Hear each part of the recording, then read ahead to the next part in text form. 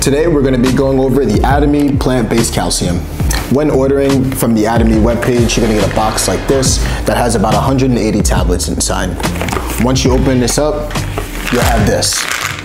On one side of the box, you'll notice the supplement facts that go over all the ingredients and any added ingredients, as well as the serving size per container.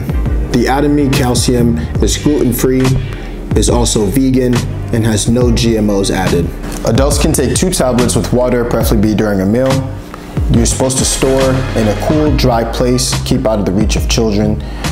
And if you are pregnant, please consult with any doctors. So what is calcium important for? Calcium is important for bone structure, for bone health, for your teeth, for a lot of things, which we're gonna go over in just a second. Calcium is a nutrient that's needed by all ages. When we're kids, our bones are still in the formation process. Once we reach age 30, our bone density actually begins to drop.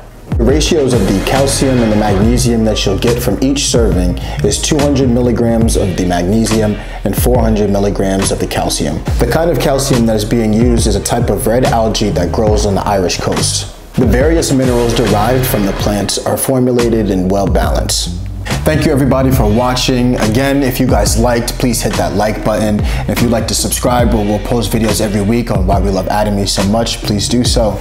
This is Benjamin again with Age of Atomy.